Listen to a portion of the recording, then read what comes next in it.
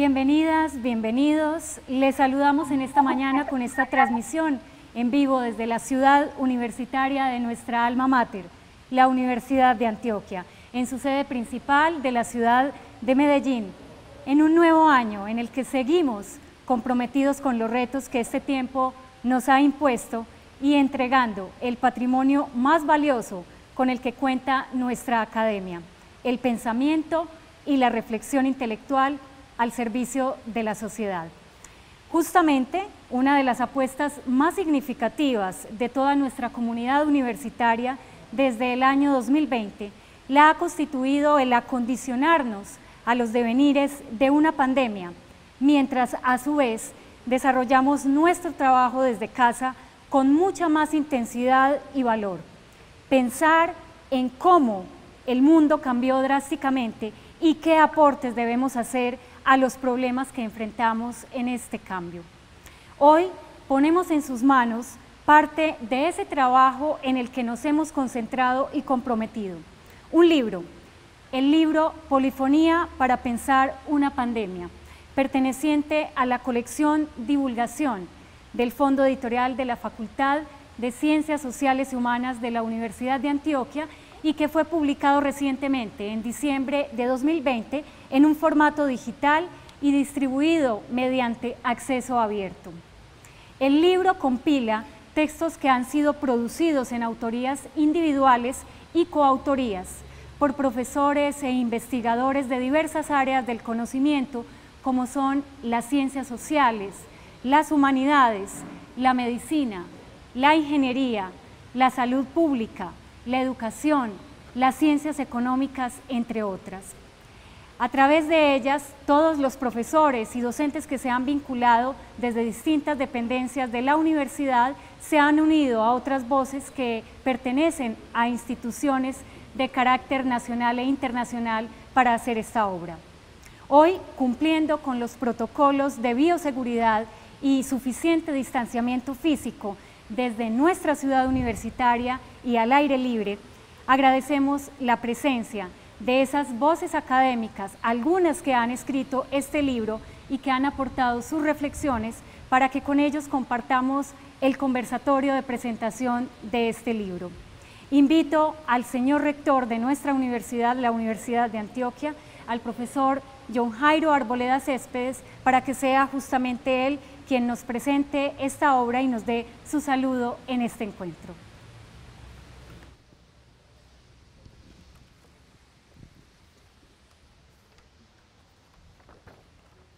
Muy buenos días, un saludo muy afectuoso y cálido desde estas las instalaciones de la Universidad de Antioquia. Los contextualizo, tenemos un marco esplendoroso, hermoso, nuestra fuente insignia de la universidad, el hombre creador de energía, al fondo el Museo de la Universidad de Antioquia, que representa esa relación indeclinable, impostergable con la sociedad, la historia, pero también el futuro de lo que nos espera y lo que tenemos que ayudar a construir como universidad. En el centro, al lado izquierdo de sus pantallas el centro de nuestra universidad, la Biblioteca Central, Carlos Gaviria Díaz, en representación de lo más importante que tenemos en la universidad, el conocimiento, y al frente de ella el sitio de deliberación, de argumentaciones, de discusiones, de decisiones, el Teatro Camilo Torres Restrepo. Saludo muy afectuoso al señor decano de la Facultad de Ciencias Sociales y Humanas, al profesor John Mario Muñoz, quien tuvo a bien invitarme y le agradezco enormemente a la presentación de este libro, a los apreciados investigadores participantes en la presentación de este libro, al médico Álvaro Quintero Posada del Instituto de Cancerología en Bogotá, que nos acompaña. Un saludo muy especial, doctor Quintero. Muchas gracias por estar con nosotros a la psicóloga María Isabel Zuluaga Gallego, docente de la Facultad Nacional de Salud Pública en nuestra Universidad de Antioquia, a nuestra profesora Elvia María González Agudelo, profesora desde Cana de la Facultad de Educación de nuestra universidad, y el doctor Sebastián Yaen Posada, que es profesor de nuestra Facultad de Ingeniería Industrial. Un saludo muy especial también para el resto de docentes e investigadores de esta obra, a los apreciados compañeros de trabajo, profesores, empleados, estudiantes, egresados que están conectados a través del, del YouTube institucional para este importante evento. No solamente a los de aquí, de Medellín, del Valle de la Urrá, sino también a las personas, compañeros, profesores, empleados que nos acompañan desde las distintas subregiones del departamento. A todos ustedes desde sus casas, muchísimas gracias por una vez más asistir a una convocatoria de esta, la Casa de Todos, el alma mater de Antioquia. Polifonía para pensar una pandemia, yo creo que es una buena muestra de lo que también sabe hacer muy bien nuestras universidades y una universidad pública como esta para estos momentos difíciles que vive el mundo. No es solamente el tema médico, epidemiológico, sino también esta, esta invitación a pensar, a pensar desde distintas voces lo que está acaeciendo a nosotros como aldea global, como país, como departamento, como ciudad, como región, como sociedad, como personas humanas que estamos sometidos permanentemente a este tipo de situaciones que se generan en cualquier parte del mundo, pero que sus efectos se van a sentir sin ninguna duda en todas partes. Así es que llamar a la reflexión, pensar desde la universidad, a través de nuestros profesores, nuestros colaboradores, no solamente de nuestra institución, sino de otras instituciones, es un momento y una invitación muy importante a pensarnos, a aprovechar una pandemia para pensar, para pensarnos como sociedad y como seres humanos. La Facultad de Ciencias Sociales Humanas tiene eso de suyo, y esa es una invitación, un trabajo arduo que se hace de la mano de los profesores para invitar a otros profesores, a otros colegas que piensen y sobre todo que compartan con todos nosotros esas reflexiones, esas críticas, esas posiciones frente a lo que está viviendo Antioquia, Colombia, el mundo, nuestras universidades. Polifonía para pensar una pandemia es eso, es un encuentro de voces independientes que tienen simplemente como objeto llamar la atención y plantear la reflexión propia o a veces en grupo con otras personas de lo que debería ser, de lo que es o lo que quisiéramos que fuese. Se recibieron muchos textos, aquí un agradecimiento también a un comité editorial que se dedicó de la mano de la Facultad de Ciencias Sociales Humanas, pero también con el acompañamiento de médicos, ingenieros y otros actores importantes a recopilar de esos 31 textos 16 que están en este libro. Yo quiero simplemente, porque serán nuestros ilustres invitados los que harán, por supuesto, buena cuenta de lo que hay aquí en esta polifonía para pensar una pandemia, pues simplemente dar algunas cifras que revelan lo importante de lo que vamos hablar hoy y sobre todo que va a quedar para la reflexión en todos ustedes. Está solamente en formato digital, vamos a hacer como acordamos con el señor decano, y además es de acceso abierto. Vamos a tratar de llevarlo al papel. Todavía hay algunas personas, me incluyo, que nos gusta el olor a papel y ver cómo logramos llevarlo a ese formato. 26 autores, 38 evaluadores, 16 textos, como lo decía, cuatro secciones y por supuesto van a encontrar una mirada importante de disertaciones y reflexiones alrededor de esta pandemia que nos sucede en este momento en el mundo. A todos ustedes, muchísimas gracias por estar aquí, a la Facultad de Ciencias Sociales y Humanas por hacer posible este encuentro y sobre todo a ustedes, profesores, profesoras, que han contribuido con su análisis, con su reflexión construir un libro que creo yo de la mayor importancia para el momento, para la sociedad, para la universidad. Muchísimas gracias y bienvenidos.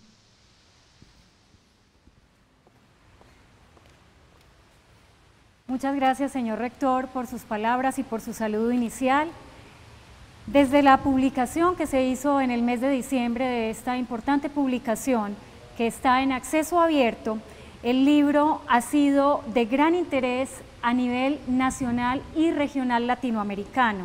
Hasta la fecha van más de 2.300 descargas que se han ejecutado desde el repositorio institucional de la Universidad de Antioquia y de otras eh, descargas que se hacen de otros importantes repositorios a nivel latinoamericano, como es el repositorio de la Claxo. Por eso hemos querido como un colofón de apertura para que ustedes accedan a este libro que tiene una primera mirada de lo que hemos pensado acerca de este momento coyuntural importante para los seres humanos y para el planeta, que puedan acceder también a este libro que está en acceso abierto y que no tiene ningún valor económico, al cual ustedes podrán acceder mediante un link que les daremos al final de este conversatorio. Por eso este libro queremos presentarlo a través de algunas de esas voces académicas que han acompañado con sus afiladas, con sus muy importantes y críticas investigaciones para aportar a esta reflexión. Por eso queremos agradecer la presencia de algunos de ellos en este conversatorio. Ustedes también pueden hacer participación con sus preguntas a través del chat que tenemos disponible en YouTube porque estamos en vivo. Recogeremos esas preguntas y al final del conversatorio ustedes podrán hacerlas llegar para que podamos compartirlas en esta plenaria y ser algunas de ellas lógicamente respondidas por nuestras personas, por los profesores que se encuentran con nosotros. Si fuesen muchas las preguntas, a bien les haremos llegar al correo electrónico que ustedes nos alleguen las respuestas a las distintas preguntas si no alcanzamos por cuestiones de tiempo a responderlas cada uno. Nos acompañan entonces en este conversatorio, en esta mañana, los docentes e investigadores que han participado directamente con sus artículos y sus obras sus investigaciones en esta obra. Desde Bogotá, el médico especialista y gestor de innovación, el profesor Álvaro Quintero Posada, del Instituto Nacional de Cancerología. Nos acompaña la magíster en psicología, la profesora María Isabel Zuluaga Gallego, ella es docente de la Facultad Nacional de Salud Pública de la Universidad de Antioquia y es integrante del grupo de investigación Psicología, Sociedad y Subjetividades de la Facultad de Ciencias Sociales y Humanas de nuestra universidad. También nos acompaña la doctora en educación, la profesora Elvia María González Agudelo, quien actualmente es docente de la Facultad de Educación e integrante del grupo de investigación DIDES. Asimismo, nos acompaña el doctor en ingeniería, profesor Sebastián Yaén Posada, docente de la Facultad de Ingeniería Industrial e integrante del grupo aliado. Moderará entonces este conversatorio a continuación el decano de la Facultad de Ciencias Sociales y Humanas, el profesor doctor John Mario Muñoz. Bienvenidos y comenzamos el conversatorio. Un saludo muy especial para el rector, un saludo muy especial para mis compañeros, colegas universitarios. Y un saludo muy especial para el comité editorial, la editora eh, del fondo, Diana Carmona y Gabriel Vélez. Un saludo muy especial para todos los que nos ven a través de la pantalla.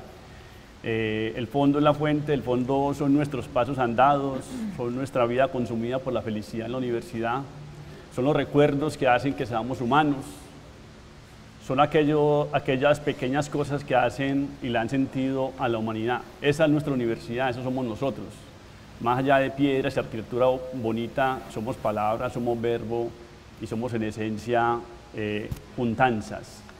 Así que desde la distancia, un abrazo para todos los que nos ven y disfruten, así sea de esta forma, la universidad. Ojalá pronto nos veamos en ella y nos abracemos con el calor de la mirada y de las palabras. Eh, yo quiero empezar esta reflexión con, un, con un, una, un punto de inflexión, creo, que la sociedad moderna no ha podido y no hemos podido aprender y es que esta no es la única pandemia que hemos vivido en el mundo. Ya se habla de la pandemia en la, Iliada, se habla de la pandemia en la Biblia, el libro La peste, la fiebre, eh, la gripe española, etc. Son muchas pandemias, pero ¿qué tiene de particular esta pandemia que nos, hoy nos aboca y que nos tiene históricamente confinados? ¿Tiene, ¿Qué tiene de particular y qué ha generado esta pandemia en el mundo? En un mundo globalizado, en un mundo capitalista, en un mundo donde hoy por hoy dependemos de las farmacéuticas privadas para que nos den vida o que nos den la posibilidad de vida. Dependemos de la compra de unas vacunas que dicho sea de paso no las han, no las han comprado todavía, no, se ha finiquitado. Somos el décimo país del mundo con mayor muerte según el New York Times, el tercero con mal manejo de la pandemia, mal manejo de la pandemia. Y dependemos de esas farmacéuticas para que se salven vidas. Llevamos casi, nos acercamos a las 53 mil muertes en Colombia y más de, más de 2 millones de, de infectados. ¿Qué hemos aprendido de la pandemia cuando es el medio ambiente el que es deteriorado, es, es usurpado por ese capital? ¿Qué hemos aprendido de la pandemia cuando es precisamente esa devoración del medio ambiente lo que ha generado esta pandemia y va a generar las próximas? ¿Qué hemos aprendido cuando amenazamos a un niño de 11 años por defender el medio ambiente, por defender la, la mama grande, por defender la pachamama? ¿Qué hemos aprendido nosotros como sociedad cuando parecemos que el virus está incubado en nuestro, en nuestro afán de consumo, en nuestra devoración? ¿Qué hemos aprendido? Hemos aprendido, le hemos dado significado a esta vida nuestra. ¿Qué sentido tiene entonces la acumulación? ¿Qué sentido tiene un, un, una, una sociedad donde no se piensa precisamente en nosotros, donde se ritualiza la muerte de unos y de otros no, donde se elaboran duelos por unas personas y otras no, donde no hemos tenido la posibilidad de elaborar el duelo por más de 53 mil personas, casi 53 mil, y se elaboran duelos por otros que tal vez, eh, mm, tal vez se lo merecen porque toda muerte es dura, pero es necesario también que la muerte y los duelos sean significativos para todos. Que hemos aprendido como sociedad de consumo y sociedad capitalista cuando parece que el horizonte, digamos, de la sociabilidad, de la vida en común, cada día se evapora más por esas sociedades de consumo y, y de afán de riquezas. ¿Cuál es el sentido entonces de la vida? ¿Cuál es el sentido nuestro en una sociedad moderna? Ese precisamente son reflexiones que se plantea el libro, pero nos planteamos nosotros como seres humanos, nos planteamos nosotros eh, como académicos, nos planteamos nosotros como intelectuales, nos planteamos nosotros como un ser humano que el tiempo eh, va, se va llevando lentamente. Así que este libro pretende responder precisamente a esas preguntas. Está compuesto por cuatro voces, que esas voces tienen que ver con la, la literatura, la cultura y las ciencias sociales que es una primera voz, tratando de abarcar, digamos, esas preguntas centrales desde una cantidad de autores eh, clásicos y contemporáneos. Hablamos de autores, eh, litera, literatos como Borges, Vallejo, literatos, eh, digamos, de, corte nacional e internacional. Hablamos de autores de, de la cultura como Alinowski, Levi Strauss, etcétera, para entender un poco qué pasa en la cultura nuestra. Pero también hablamos de la información, de la necesidad de la información, de los datos, de la necesidad de compartir y democratizar la información en la sociedad moderna. Es una primera voz. Una segunda voz tiene que ver con el trabajo más psicológico, más de la enfermedad mental que ha provocado la pandemia. Sabemos que se ha incrementado la enfermedad mental de una forma eh, impresionante, la violencia intrafamiliar, la, violencia de género, etcétera, que son trabajos que la pandemia ha no ha evidenciado, ha profundizado, porque estaban allí ya en, el debate. Otro trabajo es el, trabajo de la comunidad y la necesidad de respuesta de la comunidad a esa pandemia. Lo, vimos como, como, el debate de los trapos rojos, con la gente, con la necesidad de, buscar un alimento en esta sociedad contemporánea. Y, el último, y la última voz que, se, sobre esto tiene que ver con el neoliberalismo, la, la sociedad y la, y la academia en este contexto de la pandemia. Así que esa es una, son dolorosas las reflexiones, es doloroso eh, entender que la pandemia, la pandemia va más allá de un tema biomédico, es necesario entenderla como una sindemia, como un cruce de muchos, de muchos debates, de muchos problemas, pero sobre todo una necesidad de que haya un sistema sanitario, unas políticas públicas mucho más profundas y que dependa, digamos, la sanación o la prevención del Estado y no que dependa de esperar que una farmacéutica multinacional nos dé la esperanza de vida o no a aquella población que lo requiere. Y sobre todo, el 90% de la población que ha muerto en esta pandemia es población empobrecida. Así que voy a empezar el conversatorio precisamente con eso y le voy a hacer la primera pregunta a Elvia, a Elvia María. Elvia y, y, su colega de la Facultad de Economía hace una reflexión muy importante sobre el papel de la economía en la pandemia y la fragilidad de la economía. Yo quiero preguntarle a Elvia si, si la economía después de esto eh, se va a reparar mucho más o, o, en, en, esencia, digamos, esta fragilidad del mundo del trabajo se va a agudizar mucho más esa tensión, digamos, entre economía y sociedad. Eh, gracias, gracias por la invitación. Antes, profe, quiero decir que estoy muy contenta de poder estar después de estos largos 10 meses en la universidad en este espacio físico que nos protege, que nos une, que nos alegra a todos como profesores, esperando que pueda ser abierta para la comunidad en general eh, rápidamente. lo que hemos aprendido, profe, es, eh, y lo que discutimos con mi compañera María Isabel en el texto, es la relación que hay entre la educación y la pobreza. Eh, entre menos educación tengamos, eh, realmente somos más pobres, ¿cierto? Lo que hemos aprendido, como usted bien lo decía, es a generar conciencia, una conciencia colectiva que la educación es un derecho y cuando la educación pueda el Estado y, y el Ministerio responder ante la educación como un derecho, pues obviamente la parte eh, que corresponde a la relación de educación y economía será mucho mejor. Entre más educados seamos, más posibilidad hay de ascenso en, la economía y poder tener sobre todo una vida digna, como dice nuestra Constitución. Entonces los problemas económicos se ven, se ven mucho más, afloran mucho más. Nuestros estudiantes y los estudiantes en términos generales que están en las escuelas públicas, en las instituciones públicas, no tienen conectividad, no tienen pantallas, entonces la infraestructura se va transformando y ese es el derecho que el Estado debe tener en cuenta y subrogar porque nos tiene que eh, aportar toda la infraestructura, que es una infraestructura eh, nueva. Entonces, las clases sociales eh, menos favorecidas son las que más problemas tienen en, los, estudiantes no tienen un espacio digno para estudiar, no tienen una pantalla, no tienen conectividad. Eh, a los niños que se les daba la alimentación en la escuela, eso ha sido un problema para poder alimentarse y sabemos exactamente la relación que hay entre el desarrollo cognitivo y la nutrición. Entonces son muchos problemas que han eh, salido a flote, que se tiene conciencia sobre ellos existían, pero se han eh, profundizado mucho más. El problema actualmente es que más de 100 mil niños en toda Colombia no están yendo a la escuela. Se ha pasado pues eh, de un 2, 2,5% a un 5% en Medellín de los niños que no están yendo a la escuela. Hay que buscar a esos niños y a esas niñas porque realmente eh, los sectores más perjudicados son los sectores eh, de los estratos más bajos. Entonces, ¿qué va a pasar con la economía? ¿cierto? Nosotros sabemos que la economía ahora es una economía que está basada eh, en, el conocimiento. Entonces, si los jóvenes no pueden acceder al conocimiento para que ese conocimiento pueda ser entendido, profundizado, debatido, discutido y ampliado en su horizonte, entonces, ¿qué va a pasar? O sea, la inteligencia artificial está reemplazando todo lo que se pueda estandarizar y si los jóvenes no vienen a la universidad a estudiar, a debatir, a discutir y a formar su proyecto de vida, entonces, ¿qué va a pasar con la sociedad?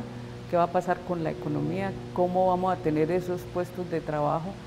Todo lo que se está haciendo desde casa, eh, que tiene un sentido del valor familiar que hay de volvernos a encontrar en la casa, de no tener que salir a una ciudad que está llena de carros y, no hay un buen transporte y está contaminada. Entonces hay cosas que mucha gente va a querer quedarse en la casa y ese es un problema también para la sociedad porque el, fundamento de la, de la, educación es la socialización, el fundamento de la educación es poder vivir juntos, que es su aspecto político, entonces esta pandemia nos ha confinado. Hay que tomar conciencia de eso, hay que tomar conciencia.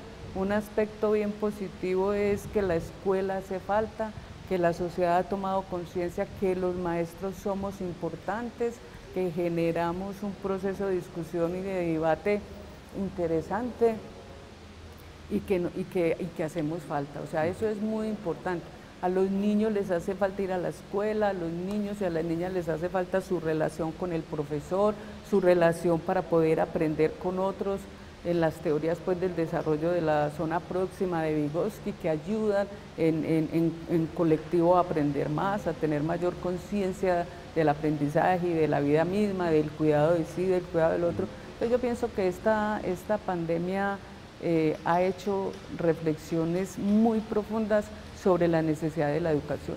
y sobre la relación de la educación y la pobreza, sobre la reflexión de la educación como un derecho que el Estado tiene que tener en cuenta. Muchas gracias, profesora. En, su texto, yo voy a ir con Álvaro Quintana, que nos acompaña desde Bogotá. En el texto de la profesora eh, también hablan sobre la falta de conectividad. Solamente 5.9 millones de, jóvenes eh, están conectados o de población colombiana está conectada con Internet fijo. Entonces eh, es importante decir que, que, esa sociedad la información, como bien lo plantea el profesor Álvaro y, Gabriel y los compañeros de, de ese artículo, es necesario democratizar la información, la red de información. Es necesario que la información se convierta en un motor, digamos, de desarrollo para la sociedad. Pero entonces la pregunta que quiero hacerle a, Álvaro es la siguiente, y es si los laboratorios que en este momento están desarrollando la vacuna en el mundo, que son todos privados, pudieran compartir esa información para el tercer mundo, podríamos nosotros estar pensando en tener laboratorios en grandes cantidades para solventar un problema de la vida humana.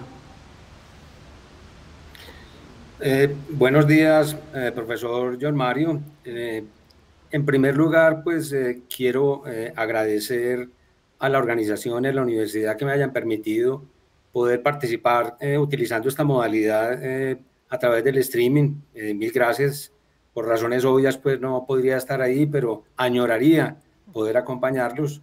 Un saludo especial al señor rector, John Jairo Arboleda, a, la profesora María Isabel, a la profesora Delvia y al profesor Sebastián, eh, y a todos los involucrados que nos están viendo. Y claro, un saludo que les enviamos desde la red Iconos, a quien represento, y del Instituto Nacional de Cancerología. Pues hombre, eh, pareciera que fuera suficiente, profesor John Mario, pero, pero a mi juicio no. Eh, el hecho de que las grandes multinacionales farmacéuticas puedan entregar libremente los datos y la información parece muy razonable y de hecho muy atractivo y debería ser así, pero del otro lado, la capacidad que tienen aquellos que podríamos usar los datos y la información para construir con ellos conocimiento es limitada. O sea, en eso no nos podemos llamar a engaños. El hecho de que quieran distribuir con nosotros libremente los datos y la información, ojalá y fueran suficientes se necesita también una capacidad del otro lado para poder usarlo de manera inteligente y construir con ellos el conocimiento que se necesita en los ámbitos y para la intervención de los problemas que se necesitan. Si fuese así de sencillo, como distribuya los datos y la información y úselos, estoy casi seguro, profesor John Mario, que podríamos haber resuelto muchos otros problemas, pero de este otro lado tenemos unas limitaciones de desarrollo tecnológico y de capacidad de construcción de conocimiento que yo quisiera decir que no son notables, pero sí lo son, sí lo son, y en eso no deberíamos llamarnos a engaños. Eh, tengo la impresión, eh, y eso solo me compromete a mí, que hemos subestimado esa ausencia de capacidades para generar conocimiento, suponiendo que tenemos buenos sistemas de investigación, y eso no es suficiente. También es necesario saber enfocar hacia los problemas, cuáles son aquellos problemas, y desarrollar nuestras propias capacidades aprendiendo por supuesto de quienes las tienen muy bien desarrolladas, pero yo me temo que distribuir libremente datos e información, profesor John Mario, con el caso que pone de las farmacéuticas no es suficiente. Mire, nosotros en este momento eh, teníamos capacidades para producir vacunas hasta hace 20 años, profesor John Mario, e infortunadamente esas capacidades se fueron perdiendo por decisiones políticas torpes eh, y hoy ya prácticamente las hemos perdido. Las capacidades que tendríamos son de distribución quizás y de aplicación y no necesariamente para la población adulta que más frecuentemente la está necesitando hoy. Tenemos más experiencia para vacunación de niños y ahí tendríamos que volver a aprender para, que, eh, para intentar resolver de alguna manera el problema. Resumo, ojalá y fuese suficiente con distribuir equitativamente datos e información. Del otro lado, también se necesita capacidad para usarla y resolver problemas.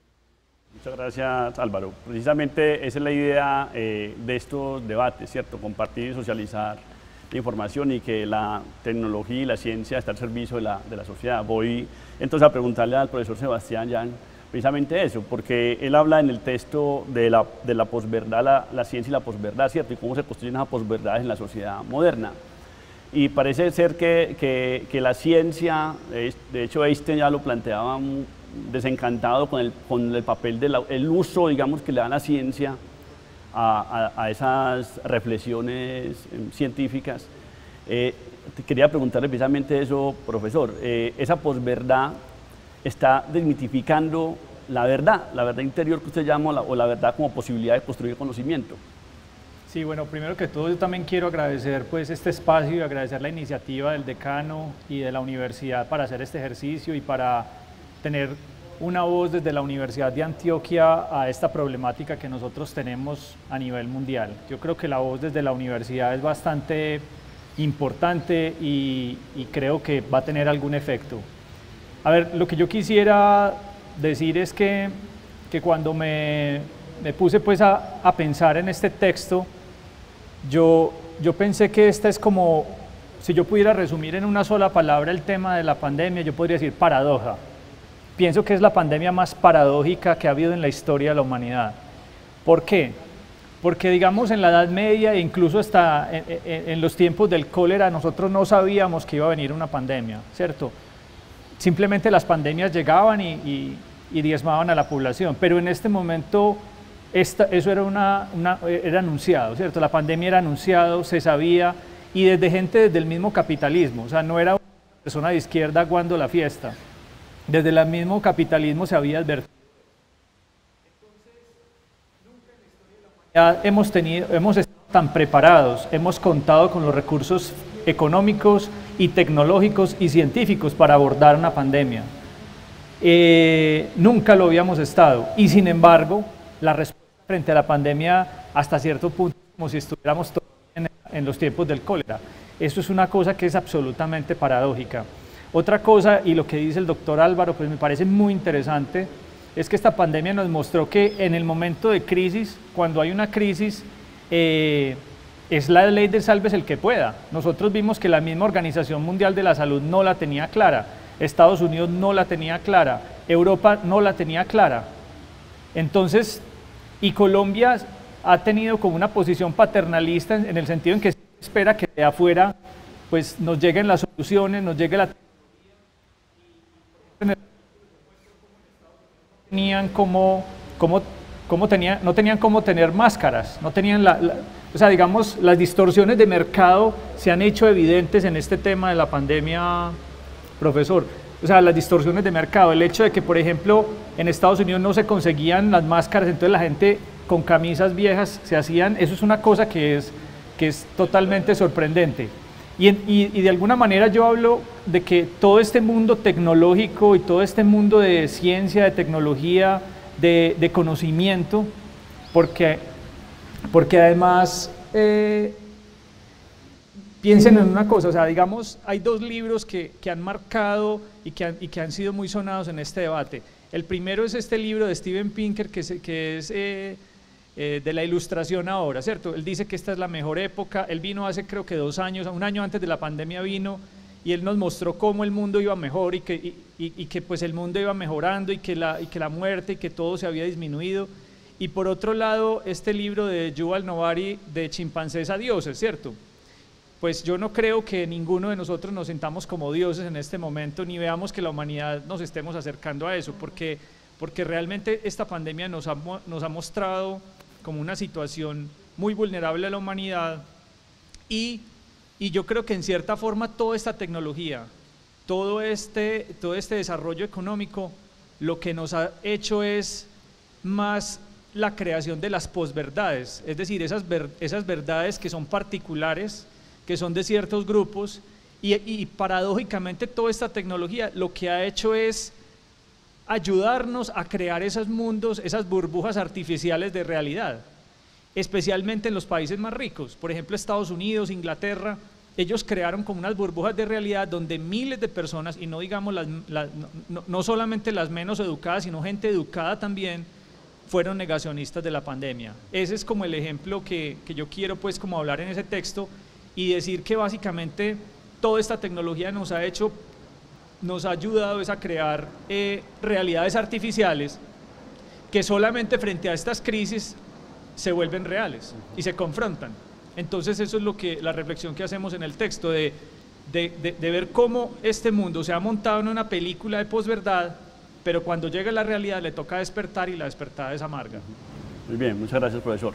Evidentemente estamos en la sociedad del espectáculo, como uno de los artículos del libro, ¿cierto? Espectáculo donde se llaman a los médicos superhéroes que lo merecen, pero les pagan muy mal, un sistema sanitario totalmente deficiente, una exclusión, digamos, de, las políticas sanitarias para la, para la, población y sobre todo en manos del capital privado. O si están en manos del capital público, poca inversión, digamos, en infraestructura y demás. Una de las poblaciones que más sufre y más ha sufrido históricamente, digamos, esa dejación del Estado es la población adulta y es la población que más ha sufrido las secuelas de la pandemia. Ustedes en el texto refirieron mucho sobre eso, antes incluso publicamos un texto en la facultad sobre, sobre el tema, eh, yo quería preguntarles a usted, en tu voz y a través de Humelia y los demás, y a, Gabriel, eh, qué posibilidad entonces de entender en esta lógica tan compleja de, la pandemia, qué posibles eh, salidas podrían haber. De hecho, hubo una rebelión de las canas, recuerden lo que con Daniel Samper, que preferían mayor calidad de vida a estar confinados.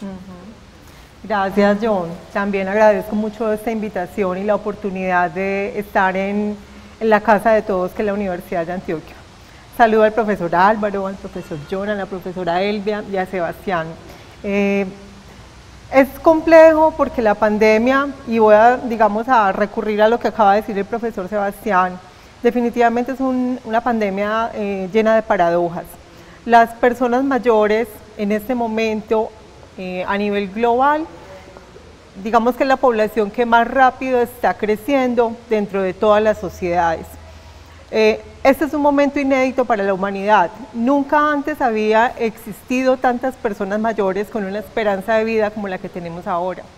Y la pandemia nos pone el gran reto porque le puso los reflectores a las personas mayores, primero por su vulnerabilidad eh, física, eh, frente a resistir lo que implica el, el COVID o la COVID-19, pero además por el tema de los recursos, que ese es un debate muy complejo que se ha dado, hasta qué punto se ha priorizado la atención en salud a personas más jóvenes y se ha hecho una discriminación por edad de los servicios de salud. A eso se le denomina edadismo y creo que es otra de las cosas que se ha puesto en evidencia con la pandemia. Y en Colombia ocurrió algo bien interesante, pues ocurrió a nivel mundial, pero en Colombia estuvo representado por la tutela que interpuso eh, Rudolf Holmes junto con eh, Humberto de la Calle y otros eh, grandes políticos o estadistas, si se quiere, porque ellos consideraron que las medidas discriminatorias que se implementaron al principio de la pandemia con los mayores de 70 años atentaban al derecho a la igualdad, a ser tratados con igualdad, al derecho a la libre movilidad o locomoción y al, derecho al desarrollo libre de la personalidad. La rebelión de las canas en Colombia eh, puso también de facto la importante tarea que tenemos como país y desde la academia aportar a entender por qué no podemos considerar a las personas mayores en una, digamos, como una población a la que hay que intervenir homogéneamente. No, los mayores son una población heterogénea que tiene necesidades de salud, sociales, económicas distintas dependiendo de la edad. Si bien la medida de confinamiento obligatorio se le puso a los mayores de 70, las reacciones fueron generales, porque no es justo que se les trate o que se les hubiera tratado en el mismo nivel que como se le puede tratar a un menor de edad, ¿cierto? Entonces, en ese sentido, creo que el triunfo de la rebelión de las canas pone en el centro del debate cómo hay que tratar a una persona mayor y por qué eh, incluso las decisiones en salud tienen que considerar la calidad de vida en la vejez. Recordemos que en Colombia, por nuestras condiciones, una persona mayor es aquella que está por encima de los 60 años. En otros países desarrollados se habla incluso eh, por encima de los 65 años. Y quería agregar un datico más, John. Tú decías ahorita, claro, alrededor del 90% de las personas, tanto que han padecido COVID o que han muerto por esta razón, están en los estratos más bajos. Pero la longevidad también es, es desigual e inequitativa. Y las muertes de las personas mayores en este momento en Colombia representan el 70% de todas las 52 mil personas que han fallecido por, desafortunadamente, el 70% son personas mayores. Entonces, también hay que mirar, la pandemia afecta fuertemente a todos los grupos de edad, en especial a los que están entre 20 y 59, pero a quienes afecta eh, y los lleva a la muerte más rápidamente es a las personas mayores. Entonces es una paradoja, ¿cómo cuidarlos? Yo, quería eh, continuar la segunda ronda por este lado también, de una vez para conectar, porque hago una más sintética, porque el tiempo en televisión siempre es muy corto y es frente al duelo, frente a la adoración del duelo. Uno de, de, los temas más preocupantes es que de esos 53, casi 53 mil personas que han muerto, no han tenido tiempo de preparar un duelo. El ritual del duelo es muy importante porque es la despedida del ser amado. Es la huella que dejó, es la palabra, es lo que hay que decirle, así se ha muerto. Eh, ¿Cómo afrontar el duelo precisamente en estas situaciones de, de pandemia? Porque con seguridad, según los epidemiólogos, vamos a superar más, lo más de 100.000 muertos, lamentablemente, porque la vacuna llegará tal vez en un mes, dos meses, pero la posibilidad de vacunación se demora hasta cuatro años. John, esa es una, una pregunta muy compleja porque estamos viendo eh, fragmentados de tajo lo que normalmente consideramos rituales importantes para elaborar el duelo por la muerte de un ser querido. El solo hecho de que esa persona que entra a hospitalización o a una UCI, no la podés visitar, no la podés acompañar. Eh, digamos que los medios y las redes han permitido por lo menos un tipo de acercamiento y luego se produce la muerte. Hay un aspecto muy importante en la vida psíquica y es la necesidad de, lo que se llama la prueba de realidad. Eh, lo que implica ver a ese ser amado eh, muerto o, por lo menos reconocerlo al final de su proceso es fundamental para la elaboración del duelo. Y lo que hemos visto es, es que se ha cercenado toda la posibilidad de elaborar el duelo a partir incluso del reconocimiento del cuerpo del ser amado o, o del familiar muerto. Entonces, lo que creemos es que el impacto en la salud mental no solamente viene de la mano de la pandemia por lo que significa estar confinados, y con toda nuestra cotidianidad alterada, sino también por la imposibilidad de elaborar los ritos que psíquicamente nos den paz. Entonces creo que también hace falta, y, también es un aprendizaje que estamos teniendo, entender eh, cómo la necesidad de nuevos ritos alrededor de la muerte por COVID tiene que renovarse. Y simplemente eh, la delicadeza con la que se le comunican la, digamos, las noticias a las familias, o la las desafortunadas experiencias donde ni siquiera les informan qué pasó con esa persona, sino que a los tres días les entregan una caja llena de cenizas que ni siquiera saben si ese es su ser amado. Eso está dificultando fuertemente esa posibilidad de darle muerte psíquica a ese ser y transformar esa, realidad. Otro de los temas que, que ha develado también eh, la pandemia es que e, efectivamente estamos en la, en la era de la información, pero la conexión, la posibilidad de, de, la, de la, didáctica, de la pedagogía, que Elvia es una experta en esos temas, eh, yo quería preguntarle precisamente algo sobre eso, Elvia. Eh, ¿Es la calidad académica baja enormemente o no en esta nueva eh, realidad que nos tocó vivir en relación, digamos, a, por un lado la falta de conectividad, pero por otro lado la falta de preparación también para lo virtual. ¿Llegó para quedarse lo virtual? Eh, sí, claro. Eh, es que lo virtual estaba mucho antes de la pandemia. Solamente es que ahora, nos, como nos cogió de sorpresa, tuvimos que tener ese, ese acercamiento a los medios.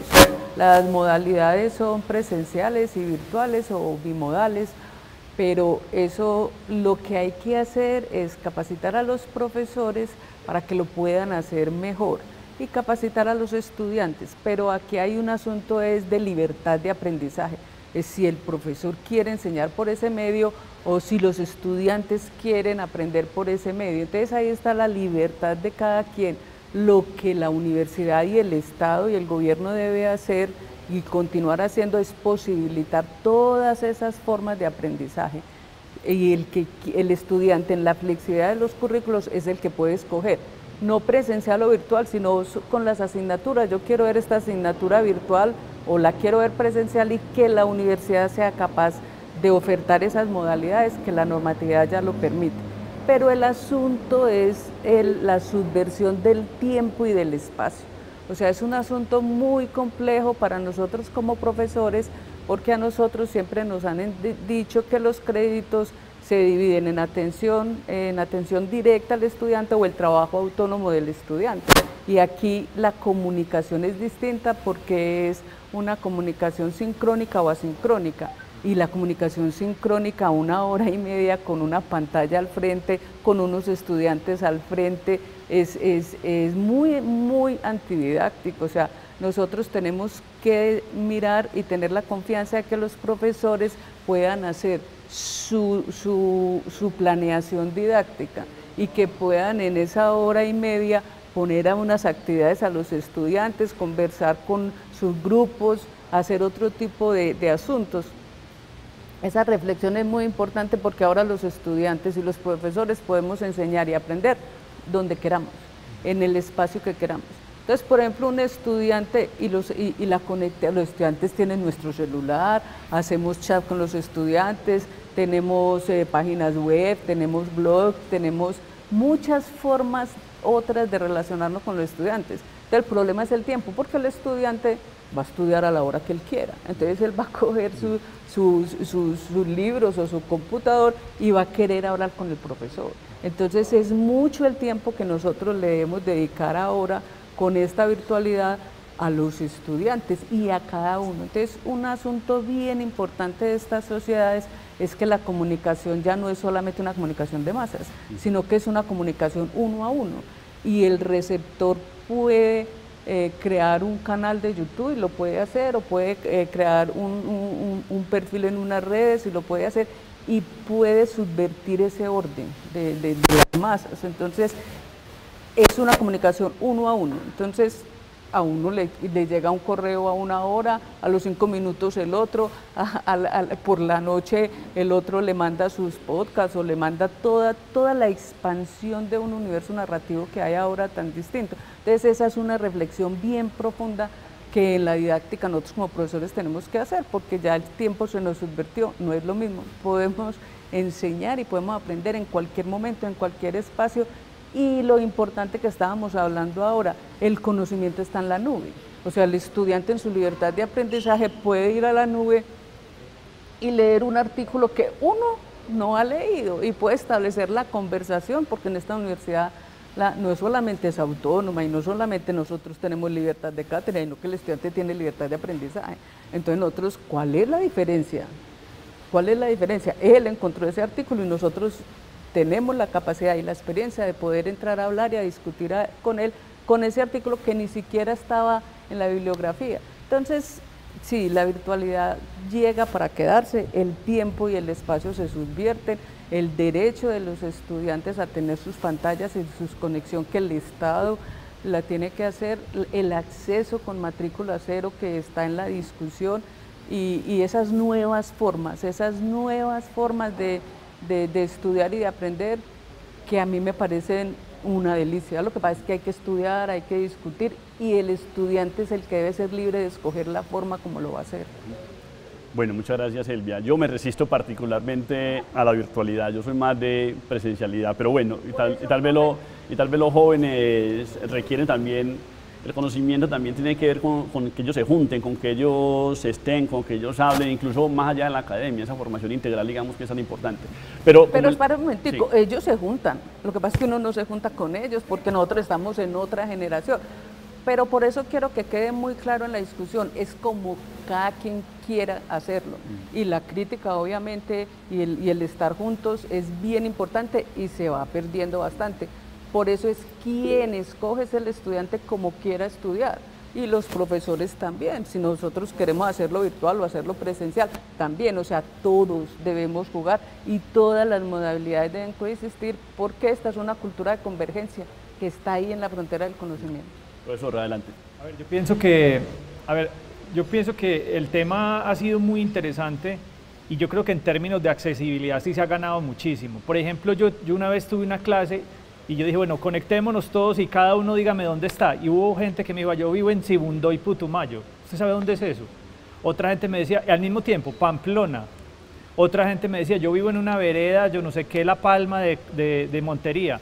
Y así, entonces yo creo que en términos de, de, accesibilidad y de costo, yo creo que la cosa sí se ha mejorado muchísimo y es muy interesante porque eh, uno se da cuenta de que nosotros es la Universidad de Antioquia, pero hay mucha gente de Colombia que estudia en la Universidad de Antioquia y eso es una cosa muy bonita.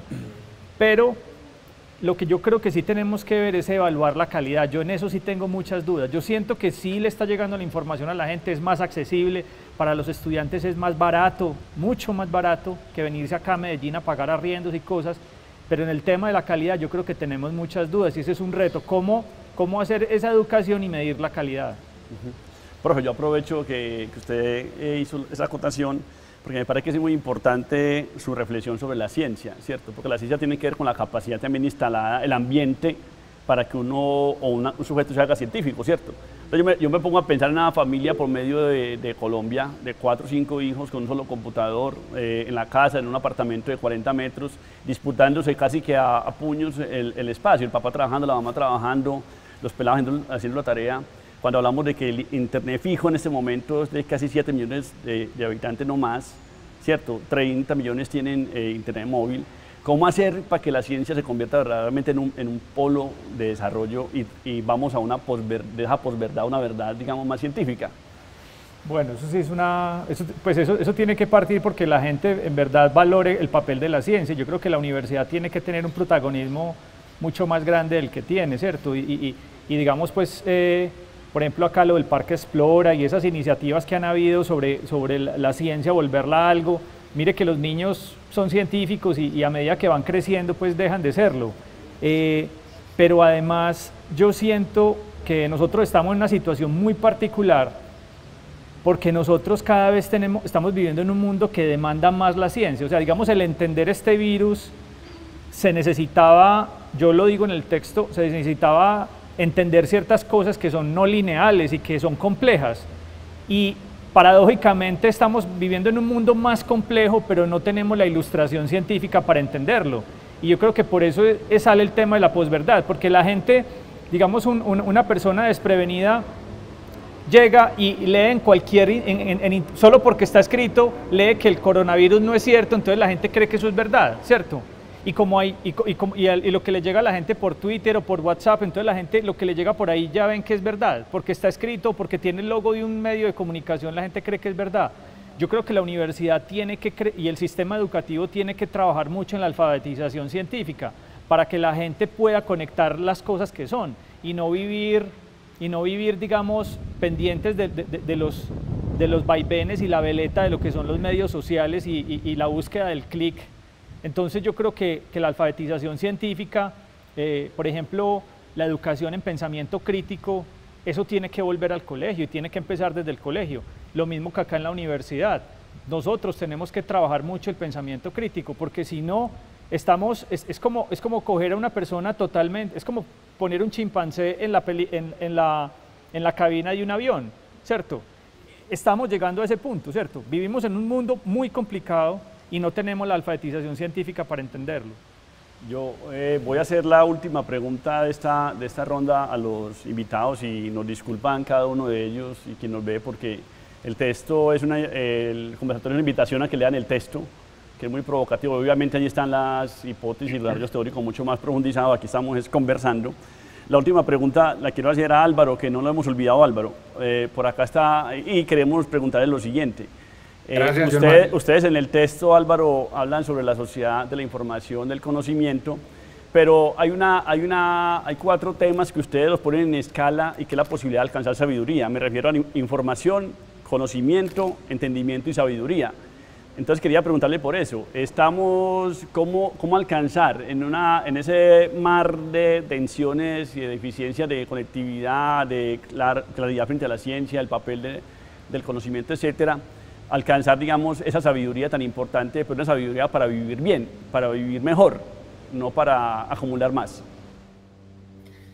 Eh, gracias, John Mario. No, este, lo que te puedo decir es que yo no estoy muy seguro eh, de que la aspiración, eh, la única aspiración posible sea el alcance de la sabiduría.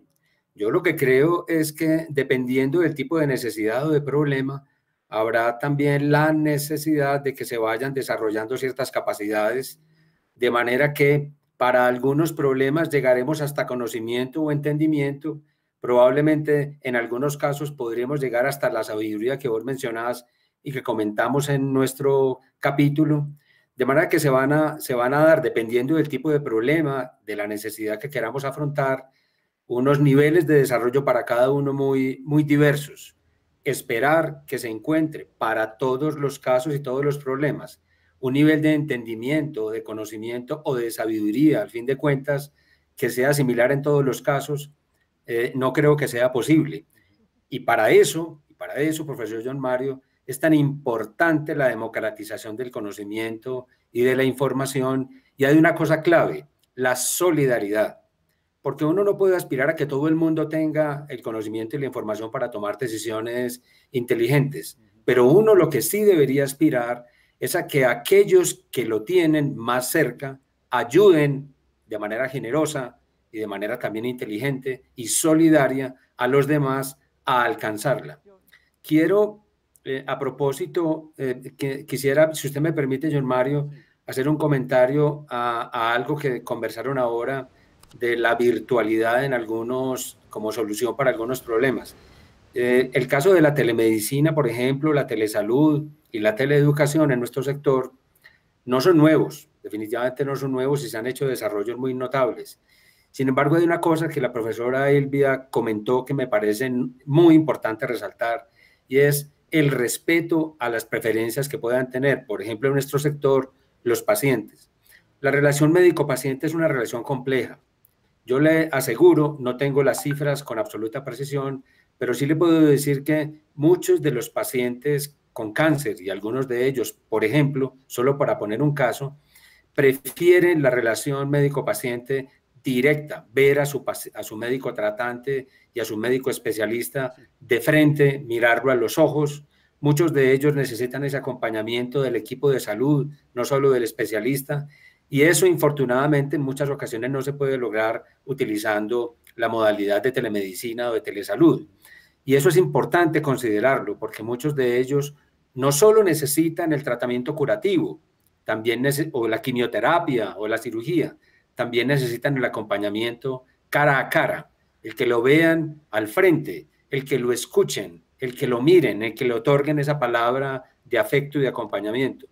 De manera que sí creo que haya llegado para continuar y quedarse muy sólida la telemedicina, por ejemplo, pero también es muy importante que abordemos, además de esa estrategia, las otras formas de respetar la preferencia de nuestros pacientes cuando ellos consideran que esa modalidad de prestación de servicios debe ser superada también con el acompañamiento directo. Eso tiene que, tiene que haber un equilibrio que sea inteligente y razonable atendiendo esas necesidades. Muchas gracias Álvaro. Eh, ya para eh, darle la palabra, la última palabra de cierre a cada uno de los invitados, eh, tenemos varios comentarios y, en las redes. efectivamente están en torno a la debilidad del sistema de Internet, a la fragilidad de la de las relaciones, digamos, de la, de la pedagogía a través de las redes, al sistema, eh, digamos, también precario en el, sistema sanitario. También hay comentarios eh, de la red frente a la, a la, al sistema paternalista. Yo eso no lo entiendo muy bien, pero bueno, ahí está el debate sobre el sistema paternalista eh, frente a las cámaras. Hay comentarios frente a eso y quería en una última ronda precisamente acogiendo estos comentarios de, la cantidad de gente que anda en las redes haciendo estos comentarios, ¿Qué opinión tienen ustedes sobre, esto? Y, que, y la última pregunta es una despedida como más propositiva. ¿Qué esperamos nosotros de esta, de, esta pandemia y qué podemos aprender de esta pandemia desde los campos diversos que ustedes manejan? Eh, iba, iba, a empezar eh, la profesora Isabel. Bueno, quería, eh, para responder a tu pregunta, quiero contarles un ejemplo en Medellín cómo incluso la pandemia está retando a las personas mayores y a los líderes en las comunidades a gestionar distinto las actividades y las posibilidades que tienen ellos de participar en la vida de la ciudad. Yo tengo la oportunidad de trabajar muy de cerca con Gloria Rúa, que es la presidenta del Cabildo de Personas Mayores, y nos dimos cuenta más o menos en junio que ellos nunca han dejado de sesionar fue muy interesante ver cómo los adultos mayores y los líderes en las comunidades se adaptaron rápidamente a las redes. Mientras en el Congreso se discutía si sesionaban presencial o virtual, aquí los adultos mayores siguieron su trabajo. Entonces yo creo que ellos nos dan una lección muy importante de flexibilidad cognitiva, entre otras, y de tener definitivamente que desmontar los imaginarios de precariedad, de enfermedad, de, falta de belleza en la vejez. Yo creo que ese es también el gran reto. Creo que las personas mayores son protagonistas, eh, en un principio desafortunadamente por el gran impacto que tiene la pandemia en su salud y en sus vidas, pero creo que nos da la oportunidad de poner en el debate la posibilidad de visibilizarlos y de respetarlos igual que a cualquier otra persona eh, de, otra, de otra edad o de otra procedencia. Y hacer un especial énfasis, John, en en esa inequidad en la longevidad. No envejecemos igual en todos los territorios. Por lo tanto, también las medidas tienen que ser diferenciales. No es lo mismo una persona mayor que está en Medellín con unos recursos y unas posibilidades que también son exiguas a una persona mayor que está en Turbo y que está en una vereda. Entonces creo que esa diferenciación no solo por edad, sino también por territorios es absolutamente necesaria aprenderla y dejarla instaurada en nuestra cultura. Elvia. Yo pienso que toda crisis es una oportunidad y la discusión alrededor de la escuela, de la enseñanza y el aprendizaje es, eh, muy oportuna. Hay que llegar a cada uno de los niños donde esté para recuperarlo y que vayan los niños y las niñas a las escuelas para que ellos puedan tener una vida más, eh, un bienestar y una vida más placentera y que puedan eh, salir de donde estén para poder tener una vida económicamente próspera. En relación con las eh, estrategias didácticas propiamente dichas, yo creo que es una oportunidad para que los profesores enseñen desde donde quieran enseñar y los estudiantes aprendan desde donde quieran aprender. El tiempo y el espacio se ha subvertido y esta crisis nos ha puesto a pensar en muchas posibilidades en la cultura de convergencia, en que existe eh, lo digital, pero también eh, existe lo analógico, entonces hay que conversar siempre y, que cada quien en su libertad pueda escoger eh, cómo estudiar. Muy bien, profe. Profe, Sebastián. Bueno, yo quería decir como, como dos cosas. O sea, lo primero fue algo que vos dijiste al principio que me llamó mucho la atención y yo creo que ahí está como la síntesis de todo y es que esta pandemia nos mostró que mucho de lo que somos son, las conexiones. O sea, y, paradójicamente en un momento en que nos conectamos por teléfono y que creemos pues que el internet y la, y la, y la, y el, las conexiones remotas son todo, no, nos dimos cuenta de que mucho de lo que somos nosotros son esa cercanía. Y, y lo que muestra la pandemia es que precisamente los más vulnerables son los más desconectados. Los que estamos conectados a un sistema que nos alimenta es lo que nos sostiene, ¿cierto? Yo creo que nosotros tenemos que ir a ver cómo nos conectamos, cómo, cómo hacemos, cómo hacemos para que Colombia se conecte y, la, sociedad se conecte, primero. Y segundo, pues eh, un poco complementar lo que dice el doctor Álvaro con respecto a la sabiduría. Ese tema pues yo lo he tratado también con los estudiantes míos y hemos llegado a la conclusión de que la sabiduría se define como la conciencia del largo plazo. Entonces, si nosotros tenemos una conciencia del largo plazo, de que existe un largo plazo, ahí es donde uno empieza a tomar decisiones sabias. Muy bien, Álvaro. Eh, de acuerdo, profesor Sebastián. Quiero eh, culminar con dos reflexiones. Una, a mí sí me parece eh, fundamental que la democracia se concentre en la capacidad que tenemos todos los ciudadanos de disponer del conocimiento para tomar decisiones que sean acertadas e inteligentes. Sin embargo, mm, no todos los ciudadanos, por lo menos en nuestro país, van a poder acceder a eso de manera pronta y le corresponde a la sociedad y al Estado que hace parte de ella eh, proveer a algunas agencias eh, la posibilidad de que le ayude, nos ayude a los ciudadanos a disponer de datos e información y utilizarlos de la manera más inteligente. No todos lo vamos a poder disponer de la capacidad de calificar evidencias y llegar a decir si estas evidencias son de buena o de mala calidad. Y como eso no puede ser así, por ahora por lo menos, nos corresponde una responsabilidad compartida para apoyar a la ciudadanía Y así estamos formando democracia, de un lado. Y por otro, profesor John Mario, yo sí quisiera eh, llamar la atención de cómo ha desnudado esta pandemia en particular, pero también lo han hecho muchos otros fenómenos, esa dependencia tecnológica y de innovación que tenemos en particular en Colombia y que nos tenemos que zarandear.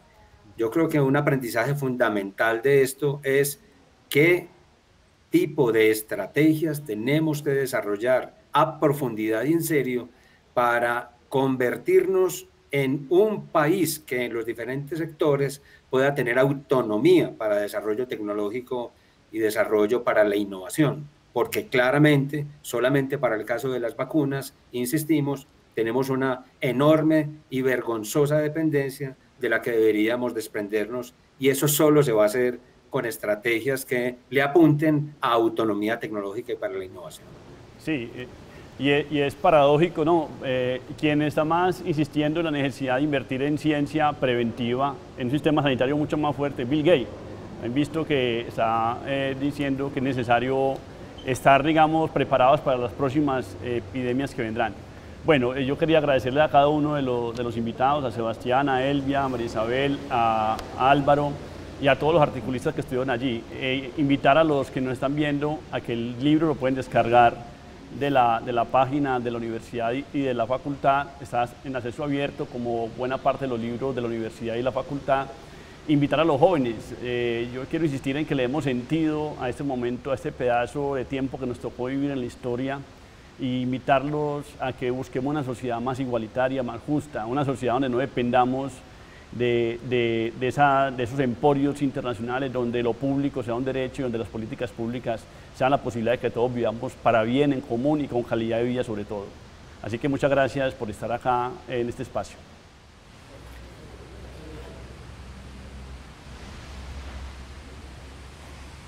Muchas gracias a todos ustedes que desde sus hogares nos han acompañado en esta presentación del libro Polifonía para pensar una pandemia.